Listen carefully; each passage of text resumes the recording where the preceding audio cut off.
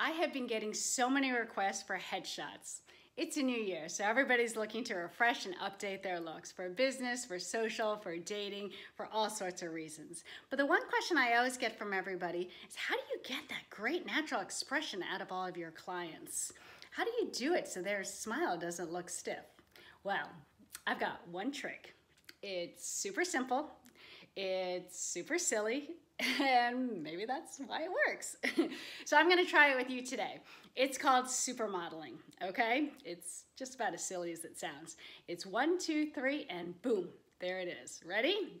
We turn away from the camera, and then one, two, three, supermodel it. And then we can try it again, and we can use our hands on our hips and go one, two, three, supermodel it. We can even try it with our arms up and go one, two, three, supermodel it.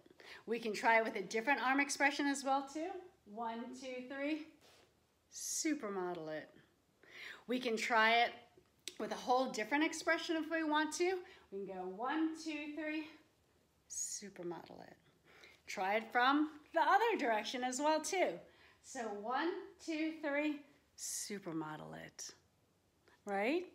It's really that simple and it's really that silly. There are a couple tricks to it though. If you notice that I always leaned out this way and I came back and I leaned in towards the camera. It's really important that you lean in towards the camera and that you have really good lighting, even lighting on your face so you don't have awkward shadows on you. The more lighting that you have, the more it's gonna wash away your blemishes, wrinkles, and any other stuff that you don't wanna see and have to retouch.